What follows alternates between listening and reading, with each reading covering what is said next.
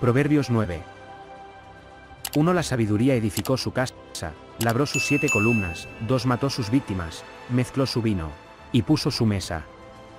3. Envió sus criadas, sobre lo más alto de la ciudad clamó, 4. Quien sea simple, venga acá. A los faltos de cordura dice, 5. Venid, comed mi pan, y bebed del vino que yo he mezclado. 6. Dejad las simplezas, y vivid, y andad por el camino de la inteligencia. 7. El que corrige al escarnecedor, se acarrea afrenta, el que reprende al impío, se atrae mancha. 8. No reprendas al escarnecedor, para que no te aborrezca, corrige al sabio, y te amará. 9. Da consejo al sabio, y será más sabio, enseña al justo, y aumentará su saber.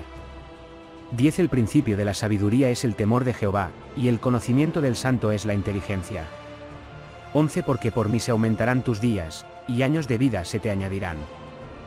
12. Si fueres sabio, para ti lo serás, mas si fueres escarnecedor, pagarás tú solo.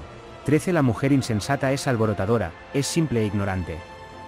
14. Se sienta en una silla a la puerta de su casa, en los lugares altos de la ciudad. 15. Para llamar a los que pasan por el camino, que van por sus caminos derechos. 16. Dice al que es simple, ven acá. A los faltos de cordura, dice, 17. Las aguas hurtadas son dulces, y el pan comido en oculto es sabroso. 18 y no saben que allí están los muertos, que sus convidados están en lo profundo del infierno. Arrepiéntete de ser de personalidad pecaminosa, reconócete pecador, de ser malo y haber pecado, pecas y pecarás toda tu vida contra Dios.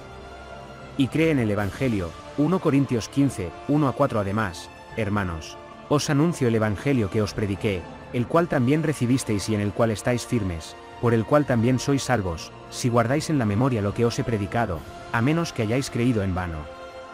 Porque primeramente os he enseñado lo que asimismo recibí, que Cristo murió por nuestros pecados, conforme a las Escrituras, y que fue sepultado, y que resucitó al tercer día, conforme a las Escrituras,